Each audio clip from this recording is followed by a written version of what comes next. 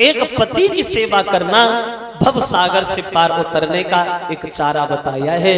वो एक बात और कही थी अनसुईया ने, हर स्त्री को,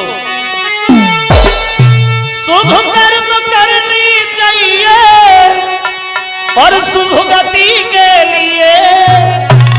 क्यों? क्योंकि पत्नी होती है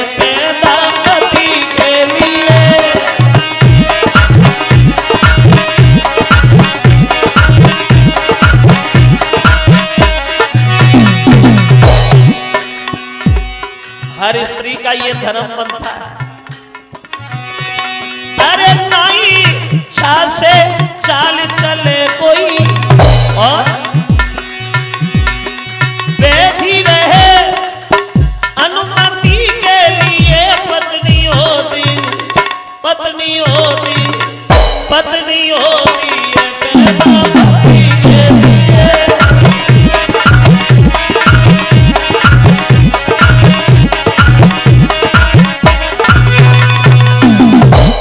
बोले पत्नी होती है पैदा पति के लिए।